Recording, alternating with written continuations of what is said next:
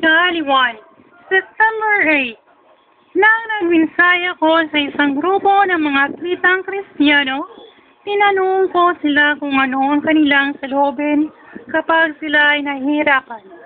Ito ang kanilang mga tugon, nawawala ng pag-asa, natatakot, nagwawalang bahala, nagagalit at mayroong ding lumalapit sa Diyos. Hinamon ko sila ng magtiwala sa Diyos na siyang nagbibigay ng kaliwanan sa gayon maaliw rin nila ang iba. Hinamo naman ni Pablo ang mga Kristiyanos sa Korento na magtiwala sa Diyos. Ipinaalala niya na ang mga paghihirap ay bahagi ng buhay Kristiyano. Bagamat marami ang hinuusig, ikinukulong at pinahihirapan dahil kay Kristo, laging handa namang tumulong ang Diyos. Tutulungan sila ng Diyos na magkaroon ng tamang tugon o tamang damdamin sa paghihirap. Sinabi rin ni Pablo na ang dahilan kaya nila nararanasan ang kahirapan at kaliwanan mula sa Diyos ay upang maunawaan nila ang damdamin ng mga nahihirapan. Sa pamamagitan ng karanasang iyon, maaliw rin nila ang iba.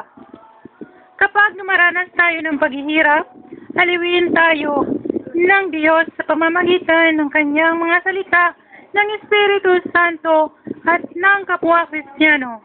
Hinaliw tayo ng Diyos. Hindi lamang para maging masaya, kundi upang maging tagaaliw din ng iba. Marvin Williams Kung nakaliwa ng Diyos ay iyong naranasan, matutong aliwin din ang mga pusong sugatan sa, sa Diyos lamang ibigay ang kapurihan na siyang pinagmumula ng kaliwan. Jesus, kapag binibigyan tayo ng Diyos ng pagsubok, magbibigay din siya ng kaliwan.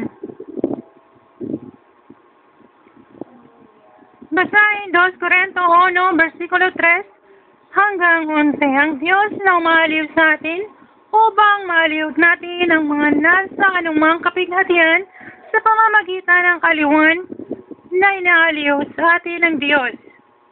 2 Corinto 1, versikulo 4. Para matapos ang Biblia sa loob ng isang taon, mga kawigaan 3 hanggang 5, 2 Corinto 1. September 8.